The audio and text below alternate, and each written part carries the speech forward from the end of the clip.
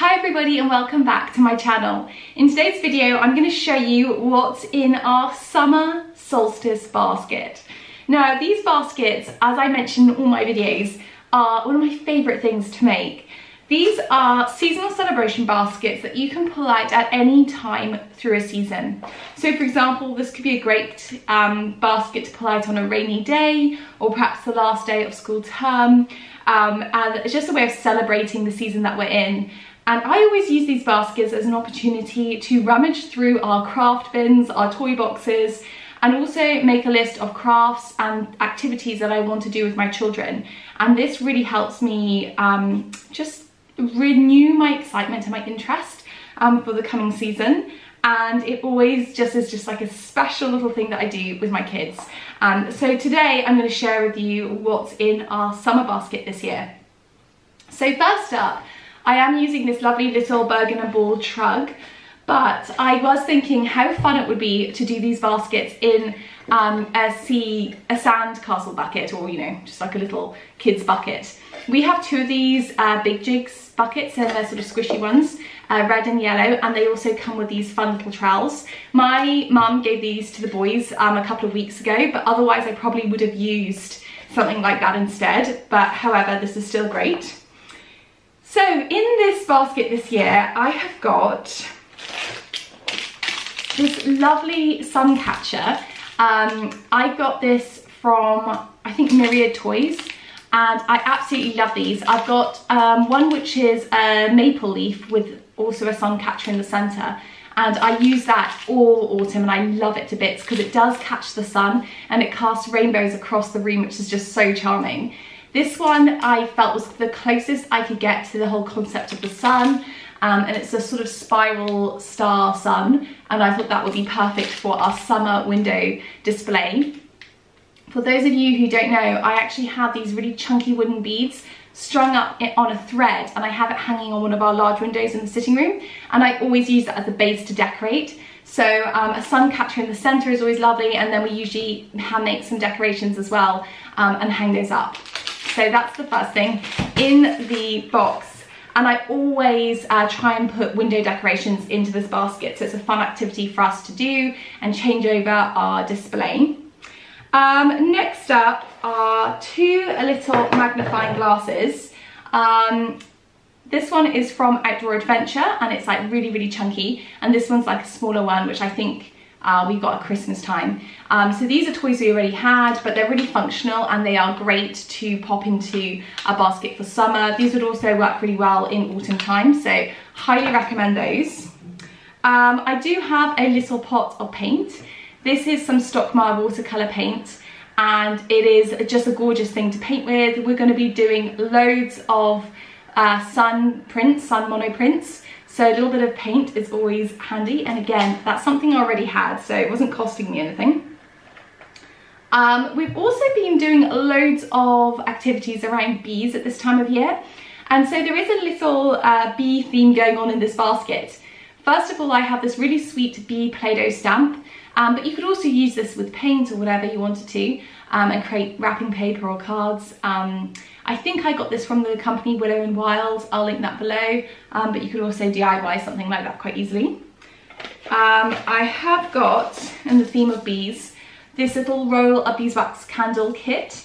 It just contains a wick and a piece of um, beeswax and we can roll a beeswax candle together. That is something that we love to do together as a family, really, really good fun. Um, so I found this in an old craft kit, so I'm gonna pop that in the basket. Um, keeping on the bee theme, we also have this block of natural honeycomb. Now, we actually have bees on the farm and I was hoping to get some honeycomb from our beekeepers, but I actually ran out of time, so I did purchase this, I'm, I'm sorry to say, but um, the boys won't know, they, they won't mind and I just think they will love this. Both of my children are fascinated in the beehives that we have here on the farm and they're also fascinated with honey. They love honey and they love bees um, and they're really getting more and more into the whole idea of how honey is made and bees and, and how they live. So this honeycomb is going to be so exciting for them. Not only is it delicious, but it's also really interesting and kind of like a scientific experiment. Um, okay, moving on. I have actually had this boat before, but the puppy got it. So I got the boys a replacement of this little boat. Now this does float on water because it's got a stern and everything like that, so it does balance really well. And this is from the brand Ogas, and I believe I got this off Myriad Toys. Um, I think Conscious Craft in the UK also sell them, and probably Bella Luna Toys in the US, I imagine. Um, and if you are in Germany or Europe, probably pretty easy to get your hands on this in most like really lovely Waldorfy shops. Um, so this is obviously going to be great fun to play with at the beach or in streams and puddles, so a great summer toy. Um, I also picked up this little summer colouring book um, from Myriad and this is very sweet. It's just got little mice and fairies, um, gnomes, pixies in summer scene, scenes.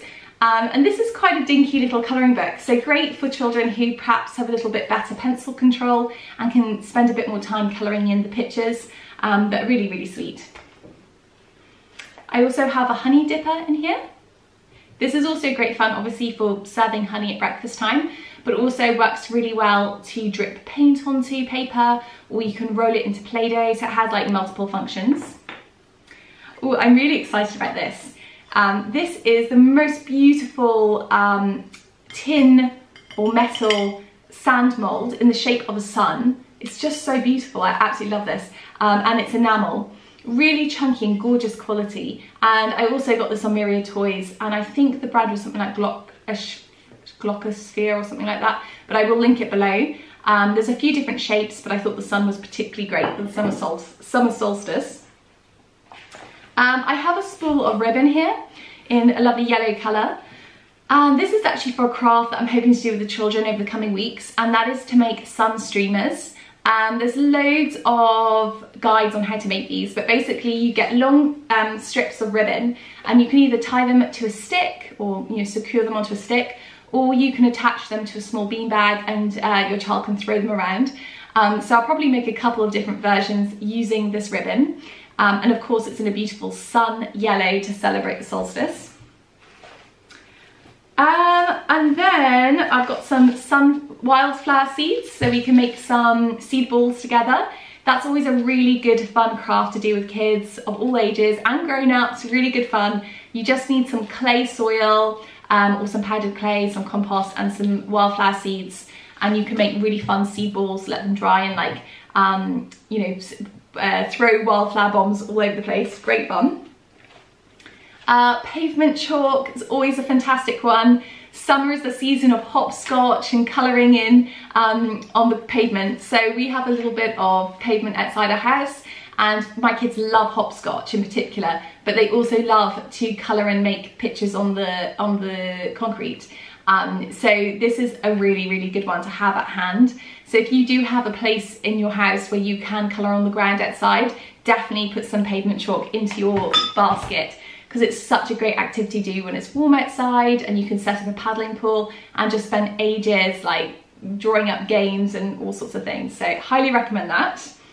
Um, I of course have a couple of um, beautiful decorations for our Grimm's celebration ring. Um, as you can see, I use our celebration ring all the time. It's just got a cow and a pig and a flower at the moment, but I've got this octopus and starfish, so I'm gonna be putting that on our celebration ring. And then I have um, a sea sponge. Um, again, there was a theme of these, but also the sea in this basket. And um, yeah, my children are obsessed with the sea and they just I think they're just gonna go wild for the sea sponge personally. I know it's a little bit random, but this is just gonna be so much fun and it'll make bath time really exciting, but also a great thing to add into um, a water play activity. If you have a big basin, you can put some sponges, droppers, um, squirty bottles, things like syringes, cardboard syringes, things like that outside on a hot day and you can let your children just play uh, with the water or you could get this so saturated with water and throw it at each other and it could be really good fun. Um, moving on, I put some crystals in. These ones are natural citrine, so they have, um, it's gonna be kind of hard to show you, but they have more of a natural color, so it's not bright yellow, they're more sort of like kind of browny almost. Um, and these are for my youngest son who is now four. He loves treasure. He's very obsessed with this concept of treasure. So Um, I love crystals, but I think you will love the concept of these just being really beautiful and kind of like tre pirate treasure for him. Again, these would be great added into like a sensory tray. Um, obviously, you have to be careful about uh, choking hazards. Um, or these would be beautiful on a nature table, uh, seasonal nature table. Okay, Firing on through this, I do apologise, I am talking really fast, but it is actually the summer solstice today, and I have a really short window to record this and upload it, so I'm going full speed ahead, um, and hopefully it all makes sense and you can understand what I'm saying.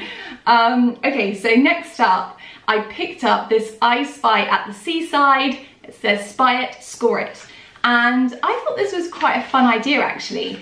So what it does is it gives you lots of different um, situations that you might find at the seaside. Um, so there's sand fun, for example, and then you get points when you find different things or do different things. So here we've got sand drawing, sand castle, sand sculpture, burying yourself in sand, and beach ball. And then you get to tick off and uh, get a score. Um, and then there's candy floss, fish and chips, ice cream van, sweet shop, um, rock pool, there's all these things that you find in rock pools. So this is quite fun because um, there's ships that you might see. So if you are going to be spending some time at the seaside and beach, something like this would be great for slightly older children um, who love the idea of finding things and taking them off and uh, getting a score at the end.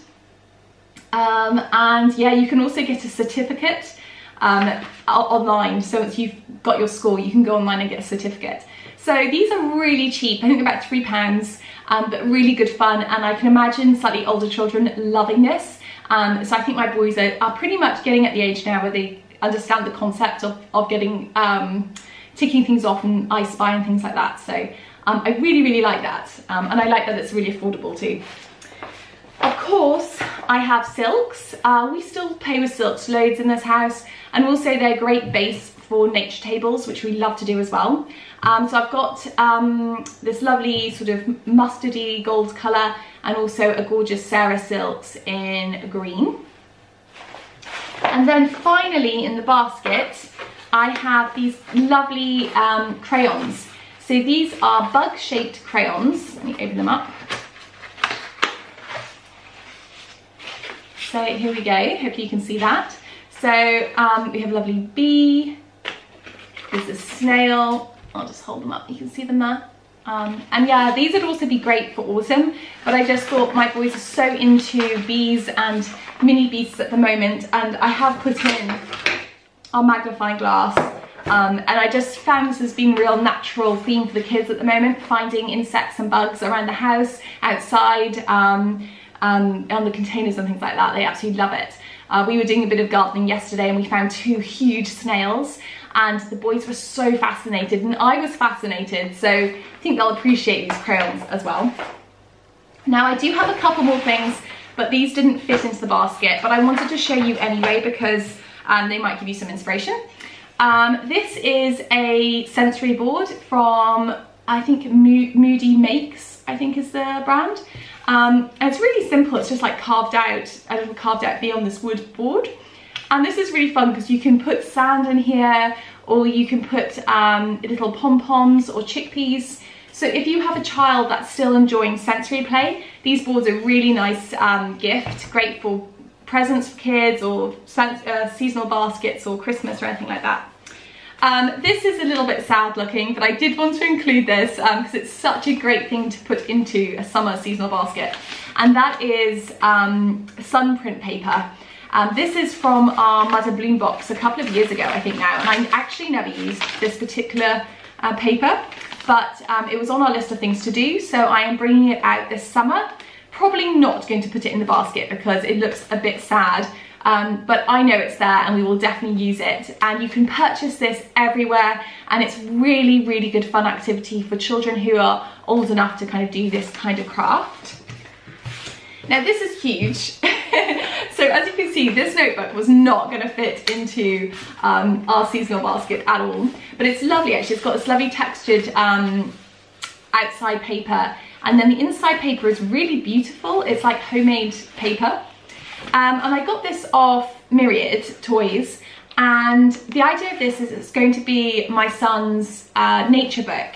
So we're going to print, um, not print, what am I thinking? We're going to press some flowers and we're going to do some drawings um, as well and things like that um, this summer outside and I'm really really excited um, to use this book as our summer journal um, so I thought that was a nice idea as well to start a seasonal journal um, and then finally uh, is this gorgeous box by Peas and Pods and this is their midsummer box now Peas and Pods have stopped selling their physical boxes but actually it's even better now because you can just download all this stuff um, off their website. I think it costs like 9.50 per download.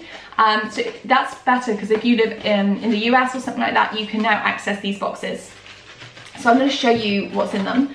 Um, so it comes with um, these little guidebooks that give you ideas of crafts and then there's some craft items in the box. But honestly, this is the stuff, the craft stuff, is so easy to get. Um, there's really just some little yellow um, cupcake uh, cases, a embroidery hoop, a little ribbon, some lavender seeds, some small clothes pegs, a straw, some wax paper, and a wooden sun. So these are all things you could definitely pick up um, from most craft places quite easily. And then you could just buy the downloadable box and print it off. So this is what it comes with. Um, there's an activity to do a hoop sun catcher. Um, there's a section on sensory mindfulness, uh, baking sun bread, there's the sun monoprints, um, there's how to make a sundial clock and a sundial out of sand at the beach, these sweet paper suns, which is a nice cutting activity, and then using your clothes pegs and a paper sun. Uh, there's a Montessori sun activity called the power of the sun and that's where you use the wooden sun and these cards of, of living things so there's all these sorts of different animals herbivores omnivores um, flora and fauna that kind of thing. There's an intro card there's a poem um, there's some little um, ideas to play outside. Um, that's for the sundial clock. Then there's the, the peg sun some sun facts and then the layers of the sun, astronomical seasons, and then these um, cut out um, words to match up on this. Um, so really lovely box. I really, really like these Peg and um, Peas and Pod boxes. I think they're really, really sweet. Um, and I'm so glad that they've carried on selling the boxes as a down as a digital download because they're just perfect for my four, five, six year old. Like really good, um, really good level. So there's a little bit of sensory play, there's a little bit of science learning. Um, at the moment actually we're doing the B box that I also purchased because it's on sale. So if you're in the UK all these boxes are really cheap at the moment. Um, but yeah we did these three part Montessori cards with the different bees and then you match them up. So um, we're still doing tons of bee learning at the moment and my kids are loving it. Um, I'm so glad I've been able to dash into the kitchen and record this for you. I hope you've enjoyed it. Sorry that I've rushed through, um, but it is funny. I spend so long planning these videos and then I don't know why I left it so long to record, but some of the bits did take forever to come, like the crystals only came the other day and I wanted all the bits to be here. Um, the one thing that didn't arrive actually was so as you can see over here, I love these Waldorf family circles and I had actually purchased blank one of blank circles um, in sort of this MDF um, but it hasn't arrived yet and the idea was that I was going to make my own summer board for the kids. However, I would just like to say that these Waldorf family boards are so great and every time I haven't purchased one um, for our collection and I've literally only got summer left now, um, I always regret it because they are such a lovely decoration in our house um, and they just make me happy more than anybody. Um, so I do highly recommend them. In fact, I might just buy the summer one and then when the boards finally arrive, I might just do something fun on them. So um, I thought that was quite a nice idea. Um, I'm just gonna go through my list on my phone because I did have a big list of things that um, sort of ideas to put in the in the basket. So um, here we go. Let's just see what I didn't put in. Um, so I also was going to put in some glitter, some eco glitter to celebrate um, midsummer, you know, just for me and the kids, just lather ourselves with some um, glitter or some face paint. Um, but I do actually have some glitter in my makeup uh, makeup kit that I never use, so we've been using that. Um, and also it saves me from buying eco glitter, which I'm not sure is that environmentally friendly. Um, a kite would be brilliant fun as well to bring down to the beach um, or fly in the park on a windy day.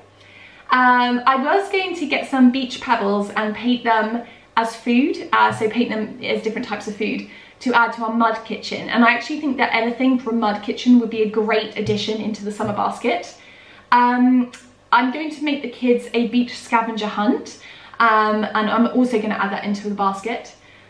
Um, I'm also going to do a planning sheet to fill out as a family. Um, and if you are interested, I have just, well, last month I uploaded a slow parenting workshop over on my Patreon, um, which is called Rooted and Rooted Membership. So if you're interested, you can head over to the link to Rooted and you can check out that workshop. It is a membership, so it's every month, but you can cancel anytime. Um, so if you just want to sign up for one month, you can watch the workshop and then cancel. Um, but I think what I will do is do a family planning sheet for summer and I'm going to put that up on that Patreon. Um, so if you want to download that, you can head over there. Um, I wanted us to make butterfly headbands this year, so that's something we're going to do. Um, I was thinking about adding yellow yarn into the basket because um, my youngest is quite interested in finger knitting crystals I added. We're going to make the stick streamers, um, gold paper, and actually that's what I did forget to add in, and I do have gold paper in our craft drawers here. Um, oh, a lovely idea that I had actually was to make your own sun catchers. So if you have very crafty kids or you have slightly older children, you can buy beautiful um, multifaceted crystals that you can then string up together with coloured beads and paper and all sorts of things and hang those in the windows and make sun catchers. Um, closed peg butterflies are also one of my favourite crafts to make for the kids. Um, yeah, I think little potion making kits, that would be great fun. Um, white t-shirts and some fabric paints and you can make your own summer t-shirts. Um, anything else? I think that's everything. Oh yeah, and the sand mold is Gluck Stuffer. There we go. Um, so there we go. Hopefully I've given you loads of ideas now.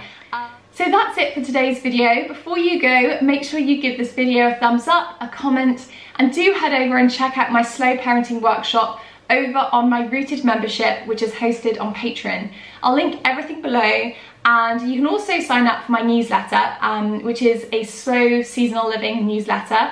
And I also send out links to my uh, seasonal podcast, Nature and Nourish, through that. Um, so be sure to sign up for the newsletter, that's free. Um, and yeah, that's it. Have a stunning summer. Um, and yeah, I'm wishing you lots of love and um, a beautiful summer ahead. Bye!